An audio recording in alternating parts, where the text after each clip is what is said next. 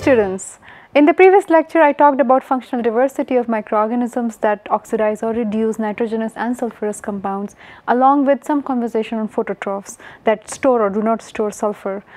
And as promised in this lecture we are going to talk about other chemotrophs other than phototrophs and other than the ones that process sulfur and nitrogenous compounds and including the ones that are interesting ones such as magnetic microbes and uh, we will deal with the remaining diversity in functions when it comes to bacteria. So, let us start first with dissimilitative iron reducing bacteria. Now, even though it says here iron reducing bacteria, the important thing to note is that there this belongs to a class of bacteria that reduce metals or metalloids. And uh, here is a beauty, we have noticed that microbes that can reduce a certain metal can also reduce other metals. So, this is not very specific generally only to iron reduction. And this is one of the challenges in generating or designing a biomarker for iron reducing bacteria that iron reducing bacteria do not have very specific enzymes. Most of the enzymes can also reduce other similar metals or metalloids. And then the word here dissimilitative we have talked about it before this implies that the iron reduction is dissimilatory. So, once iron is reduced it is not incorporated in the cell body of the microbe. The key genre are Geobacter and Shewanella. I must tell you here the little story about Geobacter. It was first discovered by a very famous scientist Dr. Derek Lovley in Massachusetts. And this discovery along with many others shot him up to fame and he's now one of the stalwarts of geo biogeochemistry which is biology of earth along with its interactions and chemistry. And um, there is a lot of career prospects in applied environmental microbiology my dear students. So, do not be disheartened by people who say ah microbiology only for researchers. For example, this Dr. Derek Lovley is has been one of the richest persons in Massachusetts states in USA, even richer than the governor of Massachusetts, only by his research in applied environmental microbiology. Alrighty, so let us look at dissimilatative iron reducing bacteria. So, the key genre are Geobacter and Shewanella and they couple dissimilatory iron reduction with cellular growth.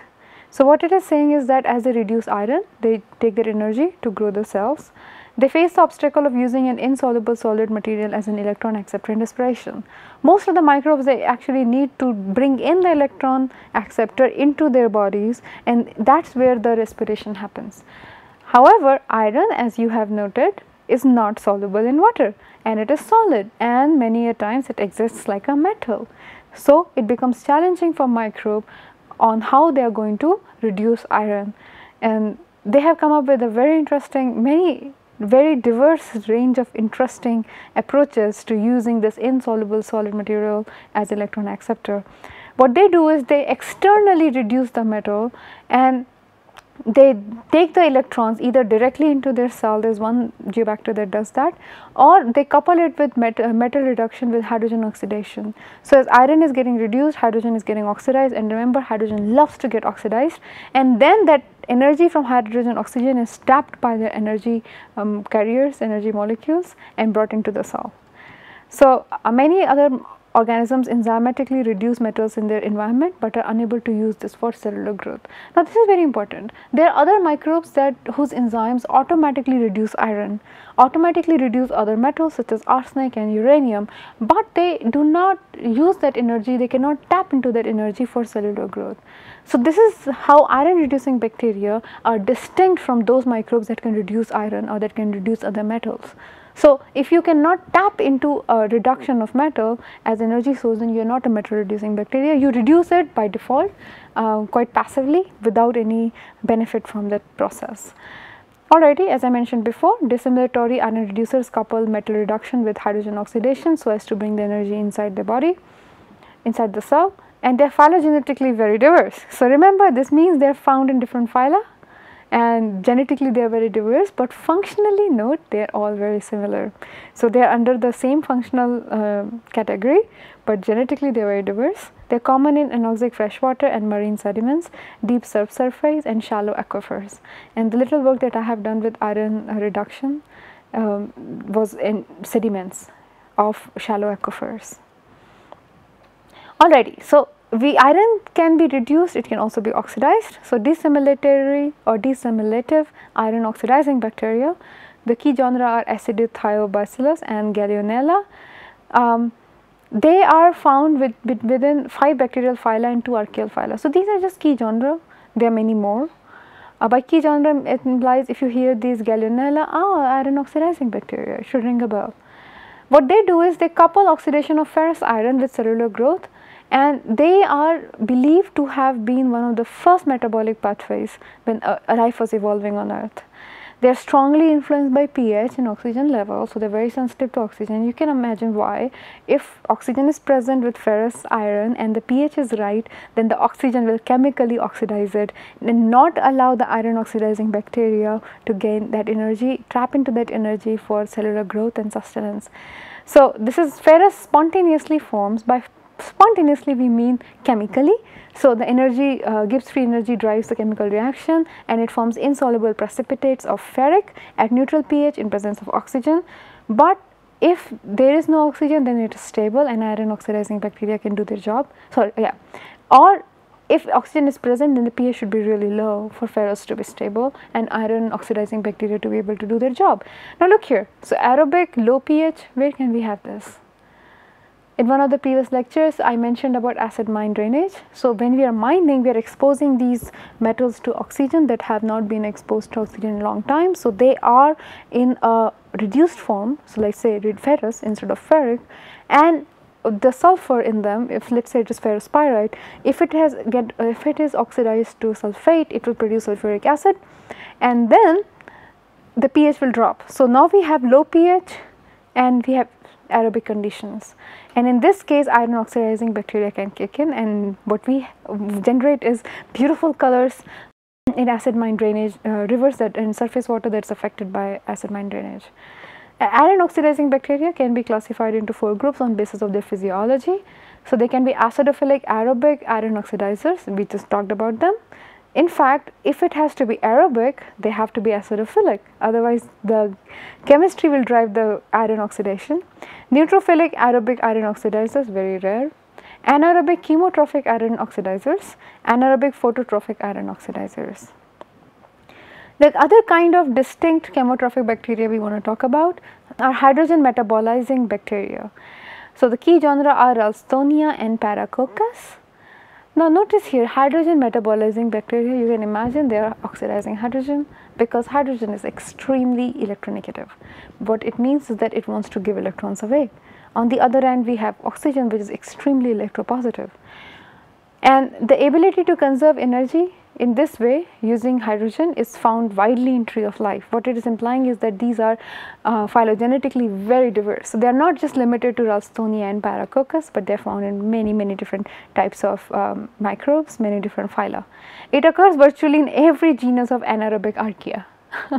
they are phylogenetically so diverse if we map archaea and we point out the anarchaea, sorry anaerobic archaea in almost every genus and genus is pretty fine you know. Um, we will find hydrogen metabolizing bacteria. The equation looks like this, hydrogen reacts with oxygen, forms water and we have a delta G prime naught of minus 237 kilojoule which is pretty substantial. They have great metabolic diversity. Now look at this beauty. Not only do they have great phylogenetic diversity, but they have great metabolic diversity. Obvious question should be, well, all of them are metabolizing hydrogen, then how come they have great metabolic diversity? Well, if um, we look into different kinds of hydrogen bacteria that is who metabolize hydrogen, we note that they can couple up with different kinds of electron um, acceptors and they are not necessarily always, it, it is not necessarily always aerobic. And in that sense they have a very diverse metabolism and collectively they are referred to as hydrogen bacteria. They best grow under low oxygen, so micro aerophiles 5 to 10 percent and why? Because like nitrogenase their major enzyme hydrogenase is sensitive to presence of oxygen. So, less oxygen is better for them they are not as sensitive as nitrogenase, but they are pretty sensitive. They need nickel. So, if you are growing hydrogen bacteria in lab your media should have nickel in it and because the hydrogenase uh, uh, an essential component of hydrogenase is nickel. Alrighty, so next kind of bacteria we want to talk about is methanotrophic and methylotrophic. Now both bacteria are very very common in subsurface when we go wade beneath the earth and try exploring the soil microbial community there and usually uh, it's oil and natural gas companies that are more interested in this but it's very interesting uh, domain uh, for avenue for research and applied environmental microbiology anyway. So methylotrophy. So they use compounds that have two carbon. Remember uh, methane one carbon but when we are talking about methyl so this carbon is attached to some other carbon. So they have two carbon bonds and uh, they are um, they that's what serves as electron donors. Again they are pretty diverse phylogenetically.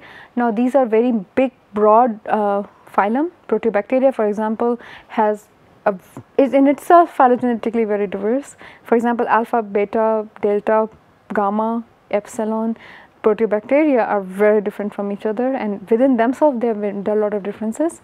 Firmicutes again very diverse, actinobacteria, Bacteroidetes, Verrucomicrobiota and archaeal Euryarchaeota. So, very diverse phylogenetically. The ones that are aerobic, they are prevalent, prevalent in soil and aquatic system. Obviously, the ones that are anaerobic would be found, anaerobic would be found way in down deep in the oceans and seas, so in marine systems. Many anaerobic ones are methanogenic archaea. This is very interesting. So, methylotrophs who use double uh, 2C, car, uh, 2C chemicals as their source of electron produce methane. So, they use this as source of electron and they reduce it to methane. So, 2 carbon uh, compound becomes 1 carbon methane and energy is generated that energy is tapped in. So, additionally sometimes sulfate reducing bacteria and methanogenic, methanogenic archaea combine to oxidize methane from gas hydrate found in deep sea sediments. Oh, this is very different thing happening and this is also a recent discovery actually.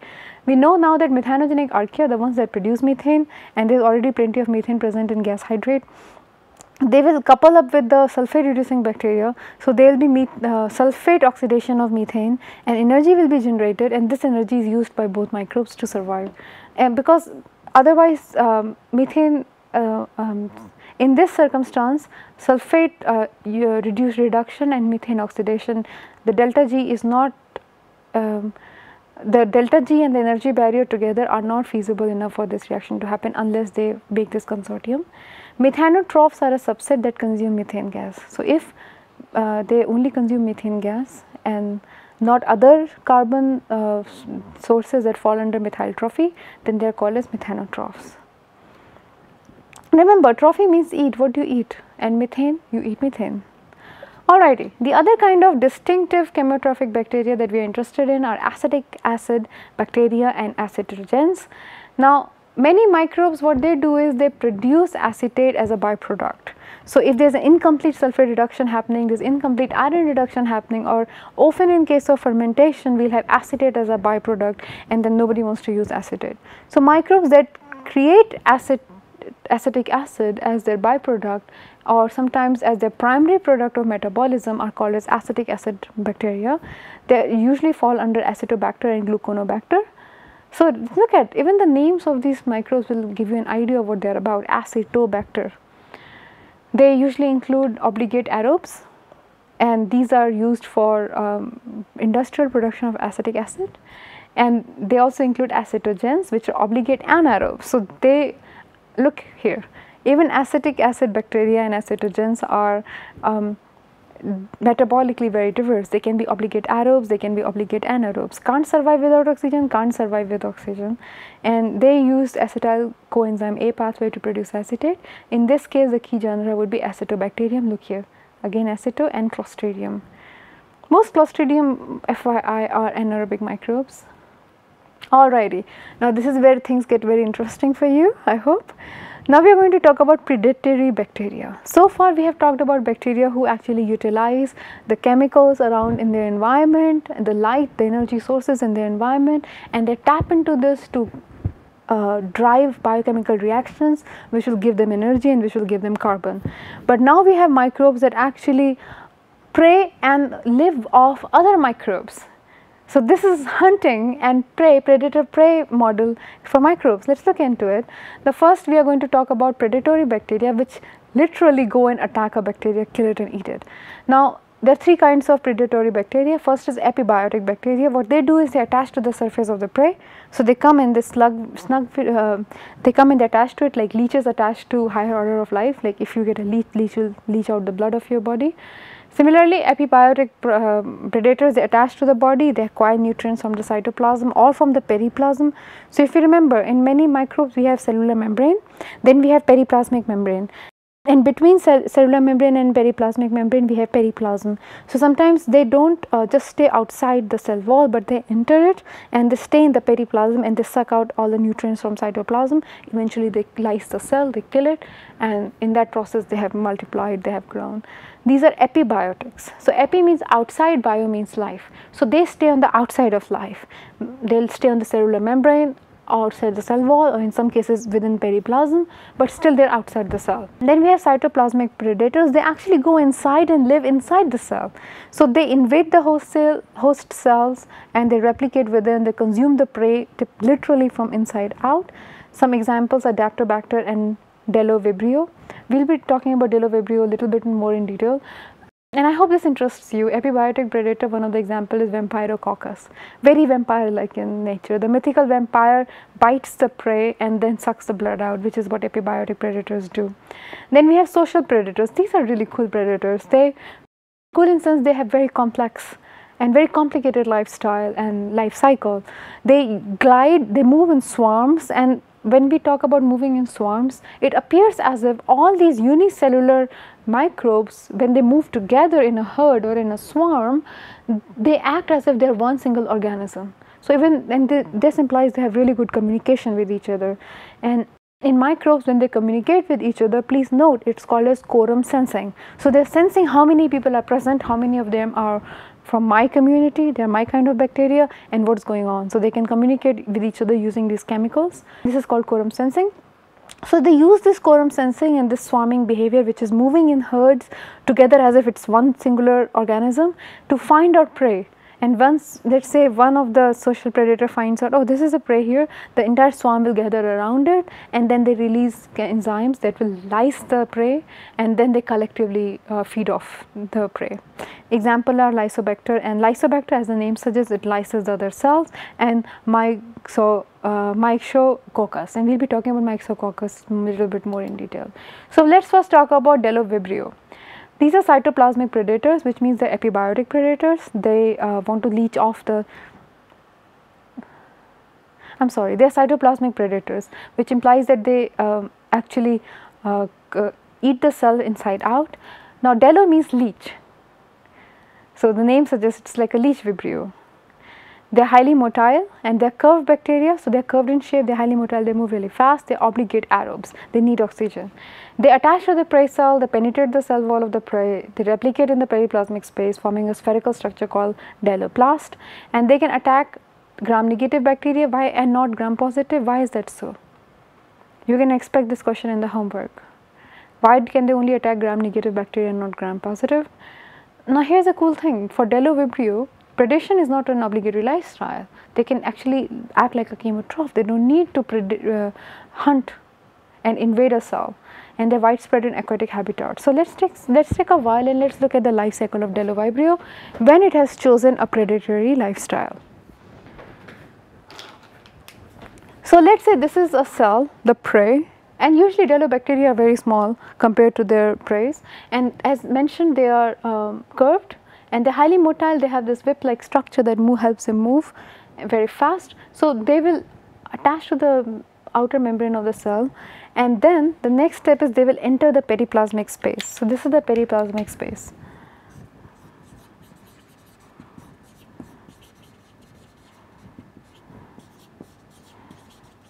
They will enter the periplasmic space. So, here they have entered and they will start leaching off the cytoplasm, they will start consuming the cytoplasm and what they will do is eventually they form a bdelloplast around it. So, they make a different pocket here. So, now within the periplasmic space we have two things, we have cytoplasm covered by cellular membrane and we have bdellovibrio covered by bdelloplast and then here also there will be a bdelloplast. So, as it leaches off more and more nutrients from cytoplasm, it elongates, it grows longer. So, you can see the bdellovibrio has grown so long.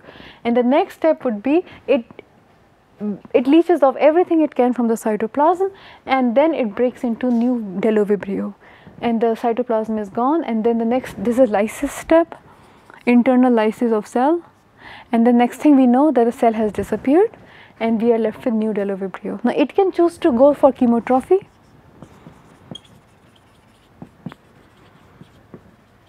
or depending on the situation it can choose a predatory lifestyle.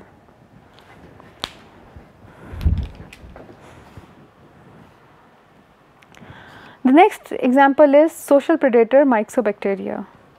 Now this has a very complicated lifestyle, one of the most complicated lifestyle among all bacteria. When they are under starvation, which is when they do not have good food or in good nutrients available, they aggregate into this huge elaborating, elaborate fruiting body. So when they aggregate, they form heaps of myxobacteria and then from these heaps emerge the elaborate fruiting bodies. So here notice let us look at the picture. These are fruiting bodies. If you can look at the right panel, so initially a heap is formed. It looks like a heap of um, mud uh, of myxobacteria and then from them these elaborate fruiting bodies emerge and within them they divide into myxospores. So these are myxospores here and these can survive for years under really bad conditions. So they are not as stable as uh, spores of bacteria, but they are pretty spores pretty stable. Okay, now let us talk about social predators and these are uh, myxobacteria is actually an example of social predator. Vegetative, their, their vegetative cells are simple and non-flagellated. So, if you look at myxobacteria here, it is non-flagellated and it is pretty simple. They glide across in swarms, so remember the swarming behavior and they obtain nutrients primarily by using extracellular enzyme to lyse the bacteria it excretes slimes as it moves. So, when these social predators they move they leave a slime trail. So, if you look at a, um, some snail moving you can see a slight trail of wetness that follows it. So, they leave a slime trail. They form a swarm that exhibits self organization which is really neat. So, they behave as a single coordinated entity in response to environmental cues and people believe that this is the origin of multicellular life forms.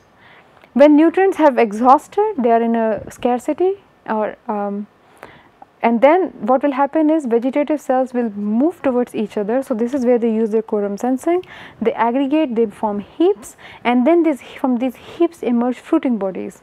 So, these fruiting bodies they form myxospores. So, you see here they are beginning to form heaps and here they have uh, made they made a heap here and from heap emerged this fruiting body and fruiting body has specialized into myxospores. Now, these myxospores um, they are resistant to drying, UV and heat, but not as resistant as endospores of some other bacteria. And from here when nutrients are available again, when life is more sustainable again, they can fruit and form more, um, more of the bacteria. The other example that I want to talk about is Legionella pneumophila because it is very relevant when it comes to public health. And Legionella pneumophila is an issue for environmental engineers and environmental scientists because we notice that in our water systems, let us say our indoor plumbing environment, depending on the water flow, depending on the water chemistry, depending on the nutrients that we are supplying or that are present in the water, the conditions might be ideal for Legionella pneumophila to grow in our biofilms of our drinking water system. Now, Legionella pneumophila typically requires warm temperatures, so it's it either has to be hot climate like India or other equatorial tropical places or it has to be a hot environment such as in water heaters. So, what Legionella pneumophila will do is it enters into an amoeba so, um, it enters, so this is an environment and this is Legionella pneumophila, it has entered here and it can either stay in the protozoic or free floating form and, and, go back to the drinking water or it can invade the biofilms. Once it has invaded the biofilm, what it does is it, it, it is eaten up by an amoeba. So, the, if there is an amoeba present, the right amoeba present in the biofilm, it will eat the Legionella pneumophila, but it is not able to destroy this bacteria. And then this bacteria it will eat the amoeba from inside out. So, what it does is it replicates within the bacteria, it consumes its nutrients until it is so strong that it will lyse the amoeba and then we have multiple copies of Legionella spread. So, this is a very important uh, diagram and I want you to be very clear about this. Again in um, in this when we grow Legionella in lab we notice there are two growth phase exponential and stationary and both morphologically are slightly distinct. Now this brings us to morphological diversity of bacteria. So this is a picture that I showed you in one of the first uh, lectures and this is from human gut. So my uh, scientists took human gut microbes and they tried seeing it under microscope and this is definitely a false color image. So they were colored later, initially microscope saw it black and white. But notice within one environment we have such diversity in morphology. We have big rounds, we have here elongated cylinders, we have rods, and we have different uh, well we have made it different colors but we also have cocas spheres balls some of them stick some of them don't and we have this dumbbell shape kind of microbe and then we don't see many but in human gut we also have some filamentous. So we notice even in a very small snapshot. Now imagine this is a very small part of human gut so in a very small snapshot we have quite some diversity of morphology. And we know we again from one of the first few lectures that there is immense diversity in morphology and there is a reason behind this diversity because each of these decides how uh, suitable microbe is for living in the environment. So, depending on morphological diversity of bacteria let us go through them. First is Spirochetes. This is very interesting bacteria uh, because um, it, it uh, it moves in a very different way. Its motility is not driven by your typical ATP synthase kind of motor. In fact, uh, these are gram negative and they are tightly coiled bacteria and uh, they contain endoflagella. So, they do have flagella the whip like structures, but they are inside them and they have a common sheath. Now, these um, endoflagella they when they move in the same direction the micro moves in the other direction thus creating a torque and this torque propels the spirochetes outside. They run into 8 genera based on habitat, their pathogenicity, phylogeny, morphology and physiology. Now here I mentioned pathogenicity so spirochetes some of them cause diseases and one of them causes syphilis which is a sexually transmitted disease in humans. And then the, there is another microbe called spirilla which also looks like a spiral like a spring and is often confused to be a spirochetes. But there is a big difference between the two. They do not have an outer sheet, they do not have endoflagella and they do not have this corkscrew like motility and I will talk about what this corkscrew motility is. Spirilla unlike spirochetes are typically rigid cells and they divide terminally and they can form long helical filaments. So, uh, let us let us look into the movement of spirochetes.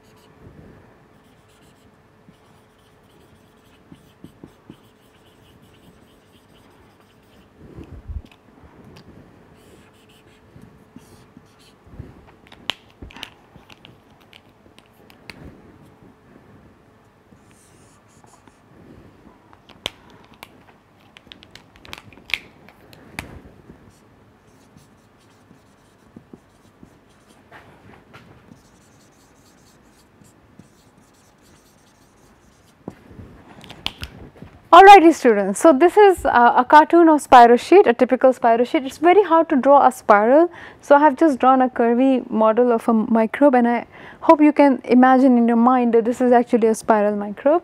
And if we look at it, if we make a, uh, if we cut it here like this radially, we will see something like this. So, it is um, a cross section would look something like this. There is an outer sheet which is black in color and you, you rest are visible from outside and this is a flexible outer sheet. Inside is the actual cellular membrane which is quite rigid actually and here on the outer sheet you will notice at polar ends we have endoflagellum. So, these are in, in uh, endo so they are inside the cell they are inside the outer sheet and they are used for motility for movement. Now when the endoflagellum move and in the same direction they create a motion in this direction in this flexible outer sheath. At the same time the inner sheath it moves in the opposite direction and thus they create a torque and this torque is what allows it to move in a corkscrew like motion. So, a corkscrew um, when you screw the screw nails inside the uh, wood or inside the wall it moves like this and it goes in and this is how they go in and thus uh, and unlike uh, the other spirilla that we talked about they are the only bacteria who can have this corkscrew like motion. Alrighty. Now next are morphologically diverse again budding bacteria. The key genera are hyphomicrobium and caulobacteria. Now budding is budding bacteria are those bacteria that when they divide they do not undergo the typical binary fission. So if you remember we learned that in typical binary fission uh, we have cells and they produce two of everything and then they divide into two equal daughter cells. But in budding we have unequal cell growth. So, we can say that the parent stays intact and a daughter buds out. The other difference between budding and binary fission is that in binary fission we have two of all enzymes, two of the genetic material, but in budding the daughter cell has to de novo synthesize some enzymes and this is one of the advantage for budding uh, microbes because they can it is easier to de novo synthesize certain complex enzymes than to make two of them and separate them. Alrighty. So, cell wall material is and the another difference is the cell wall material in budding bacteria here budding bacteria are formed from a singular point. But in cell division in binary fission the entire cell membrane participates into it. Internal structures such as membrane complexes are not partitioned. So, remember membrane complexes and cytoplasm membrane they are not partitioned here and must be synthesized de novo and most of them are uh, phototrophic, chemolithotrophic and they contain extensive internal membrane system. And because they have such extensive internal membrane system, it is very hard to replicate it and, and make bud, uh, break into two daughter cells. So, they prefer budding and then the new daughter cell will produce its own um, extensive internal membrane system de novo. So, this is another picture of budding bacteria. Notice from one point the cellular membrane shoots out, new nucleoid, the new, so this genetic material has replicated into two, the genetic material moves in here, the new nucleoid moves into the bud, this is the young bud and the nucleic material is ready and it separates. So, it still does not have the complex internal membrane proteins that this this has and it, but it will, it has enough information to generate them de novo. Next we have prosthecate and stalk bacteria. So there are certain bacteria that can produce stalks, hyphae and appendages that help it to attach. They, these extrusions are unique because they have smaller diameter than the main body of the cell, but they still have cytoplasm and cell wall. So, there is another advantage because they still have the cytoplasm and the cellular membrane, they increase the surface area to volume ratio. They allow cell to attach and increase surface area to volume ratio. They may be an adaptation to oligotrophic lifestyle of many of these bacteria. So, we will see this more in the drinking water systems when attachment is required and also when they want to increase the surface area to volume ratio so that they can have more surface for nutrients to come in. And they may also be helpful for reducing cell sinking if we increase the surface then Uh, the upward thrust of the water will be more. So, this is important when the cells are aerobic and aquatic and they need to stay afloat if they sink down then they will go in anaerobic zones. And these are other example pictures showing the same thing already. Now, in sheath bacteria we have oh, this is very interesting bacteria. They are cells that grow on one terminal, they form long filaments and multicellular filaments and they have one outer sheath. So, if you look at under microscope you will see one long cylinder, but inside these cylinders there are multiple cells. So, it will look something like this. So, we have one long sheath and inside these sheaths we have multiple cells.